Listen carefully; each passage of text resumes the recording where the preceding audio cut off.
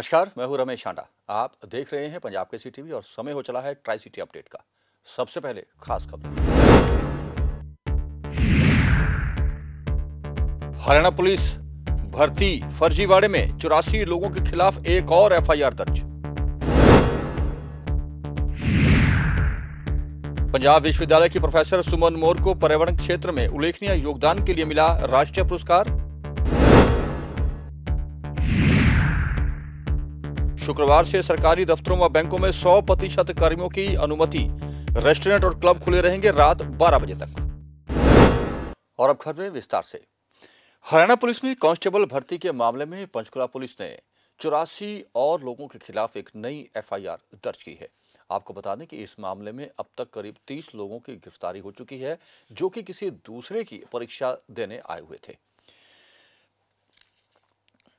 इस मामले में जाँच कर रही एसआईटी टीम को हरियाणा कर्मचारी चयन आयोग द्वारा चौरासी और लोगों की लिस्ट दी गई थी, जिन्होंने की दूसरे के नाम पर परीक्षा दी थी। इसी के आधार पर एसआईटी ने नई एफआईआर दर्ज की है। इस मामले में बहुत जल्द बड़ी गिरफ्तारियाँ होने की संभावना है। हरियाणा पुलिस कांस्टेबल भर्ती मामले में पंचकुला पुलिस ने चौरासी लोगों के खिलाफ एक और एफआईआर दर्ज की है। आपको बता दें कि हरियाणा पुलिस कांस्टेबल भर्ती मामले में अभी तक 30 लोगों की गिरफ्तारी हो चुकी है।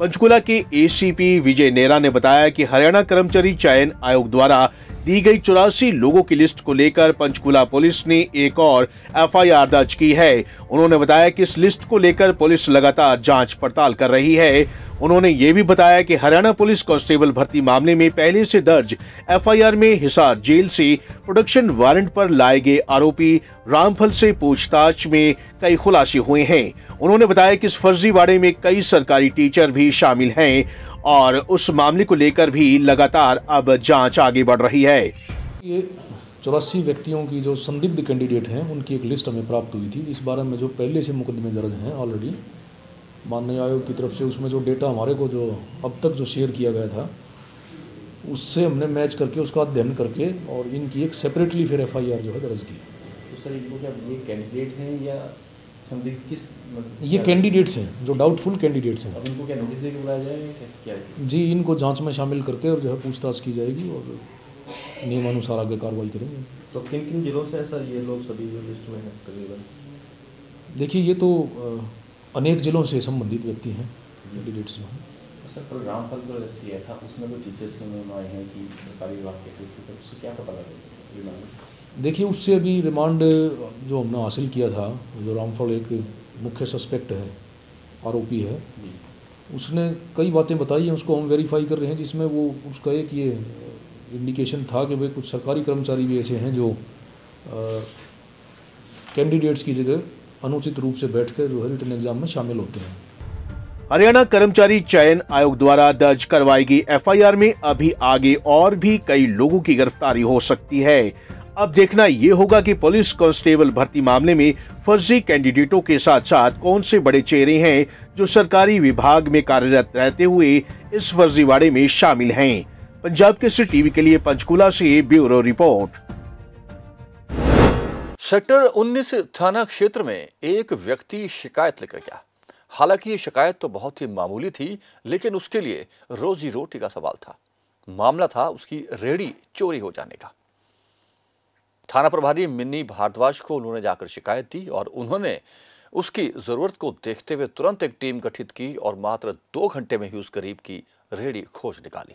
जिसके बाद रेडी चालक खासा प्रसन्न दिखा और पुलिस की तारीफों के पुल बांधता दिखा।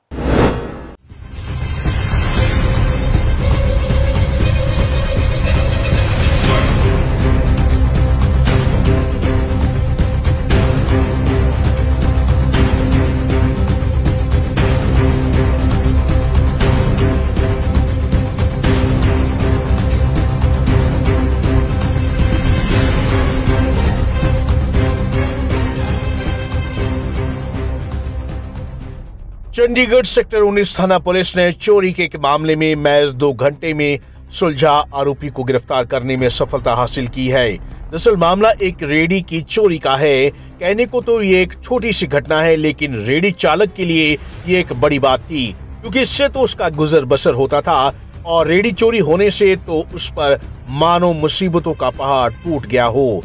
ऐसे में परेशान रेडी चालक अपनी फरियाद लेकर सेक्टर 19 थाना प्रभारी मिनी भारद्वाज के पास पहुँचा और शिकायत दी, जिसके बाद मामले में तुरंत कार्रवाई करते हुए थाना प्रभारी ने एक टीम गठित की, जिसमें शामिल ASI Ashok Kumar, ASI Prem Kumar, constable Sanjay Maur constable Sanjeet ने महज दो घंटे में ही चोरी की वारदात को सुलझाते हुए आरोपी को पकड़कर सलाखों के पीछे भेज दिया। उससे चोरी की गई रेडी और साइकिल भी बरामद हुई है। उन्नीस थाने में एक मामला आया है चोरी का। वो क्या मामला था और किसकी गिरफ्तारी हुई है? कल हमारे पास एक कंप्लेनेंट आया था चार बजे के करीब कि उसकी, उसने रिक्शा रेडी है। उन्नीस ताई डिवाइडिंग रोड, उन्नीस की तरफ़ पार्क की थी। तो जिस पे हमने चोरी का पर्चा दर्ज कर दिया था। जिसके बाद हमने एक टीम तैयार की थी, जिसने सर्च के दौरान एक चोर पकड़ा हमने, जो चोरी वाली रेडी के साथ शनि मंदिर सेक्टर उन्नीस के पास से। जिससे पूछने पर एक साइकिल भी उससे बरामद हुई है।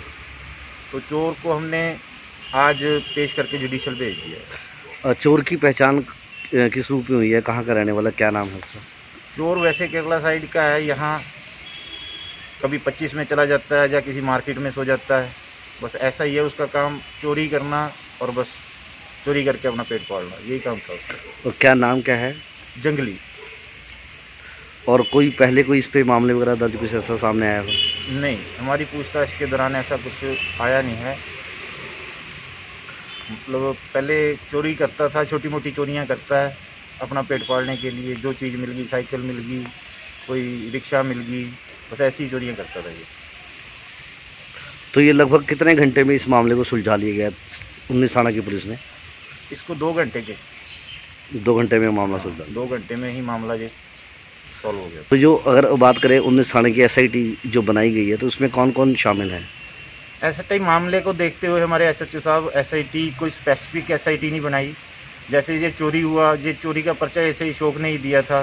तो थाने से ही जो मौजूदा प्रेजेंट थे कांस्टेबल संजय था कांस्टेबल मंजीत था ऐसे ही शोक था ऐसे ही प्रेम था तो इन्होंने मौके पे टीम बना के सर्च की। बता दें कि ट्राई सिटी में आए दिन वाहन चोरी के मामले सामने आते रहते हैं। ऐसे में ज़रूरत है किसी तरह से अन्य मामलों में भी पुलिस तुरंत कार्रवाई करे, ताकि बढ़ते आपराधिक घटनाओं पर लगाम लगाई जा सके। पंजाब के सी टीवी के लिए चंडीगढ़ से कुलदीप कुमार की रिपोर्ट।